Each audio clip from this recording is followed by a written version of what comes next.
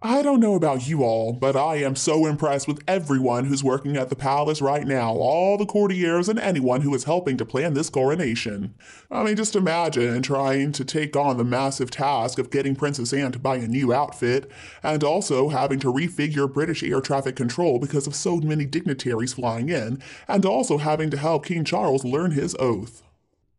And then, of course, they've got to figure out the on the ground security preparations. At some point this week, snipers and chemical, biological, and nuclear response teams are going to be hidden all around central London. But 70 years after the last time that the UK saw this beautiful display of frippery and dusted off robes, their preparations are not only confined to one city, country, or even continent. Right down the road from Oprah's massive estate, the Houdini of the royal world, Prince Harry, is also getting ready. And now we know that not only is he going to need a nice pressed suit and a passport for his coronation trip, it seems like he's also going to need a whole new round of affirmations, his emotional support hoodie, and probably even a whole bottle of whiskey after some new details have come out about the service. Over the weekend, the Church of England shared the liturgy for Saturday's big day. Now, if you're into Psalms, then I'm sure this is going to be an interesting read, but the part that I zeroed in on was how big of a role Prince William is said to be playing. In the second half of the coronation, after the king's oath and the enthroning, William is set to deliver what is called the homage of royal blood, and it's going to result in William kneeling in front of his father. He'll put his hands between the king's hands, and he will pledge, My loyalty to you and faith and truth I will bear unto you, as your liege man of life and limb. Now, in an alternate universe, it wouldn't really be like that. In an alternate reality where Harry and Meghan rode out the crest of critical coverage in 2019 and decided to continue with their royal work, Harry would probably also be taking part in the homage.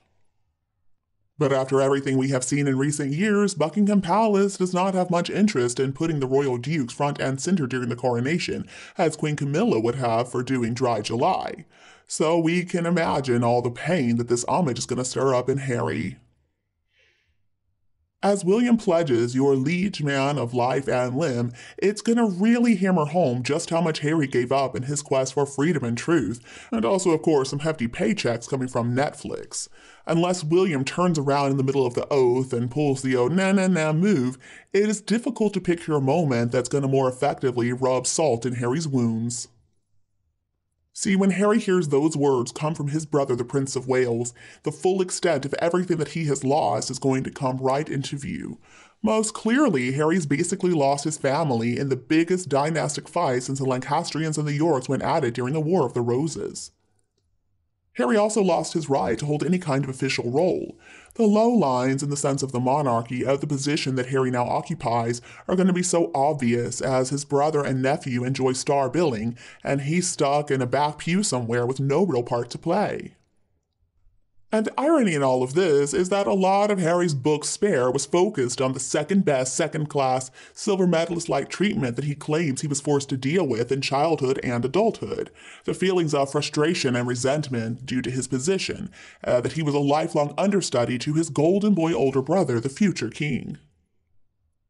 Now, obviously, this fundamental inequality between William and Harry is one of the most psychologically consequential factors that has shaped Harry, and it seems like it's still affecting him deeply.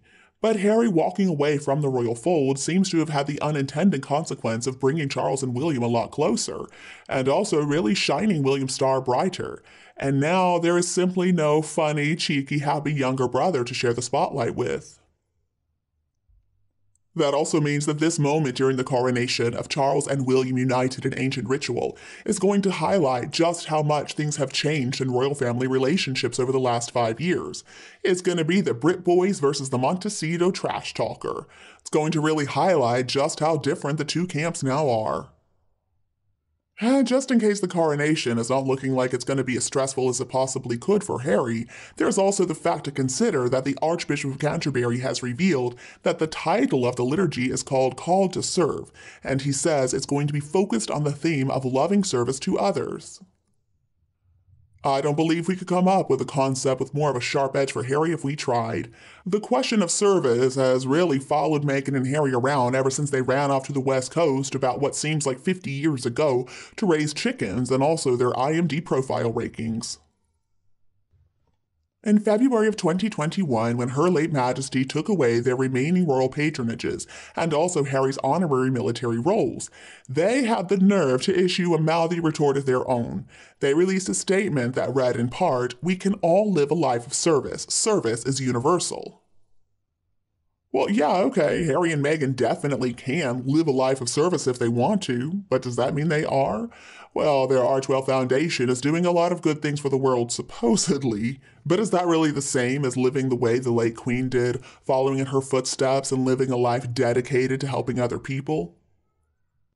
It's hard to believe that the Queen, if she were still alive, would see Meghan and Harry's appearances at a charity polo tournament on gala event red carpets, and having these self important meetings at the UN is equal to the service of, for example, Princess Anne, who went on 214 engagements last year alone.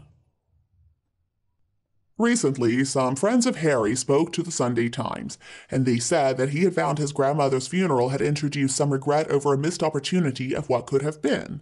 Well, if that was then, how in the world is he going to feel on Saturday? What is going to be going through his ginger head as he comes face to face with what his life could and would have been? Is he going to feel hurt? Is he going to feel remorse, sadness, loss? Is he going to feel anger? Well, maybe he can find some comfort with his Aunt Anne.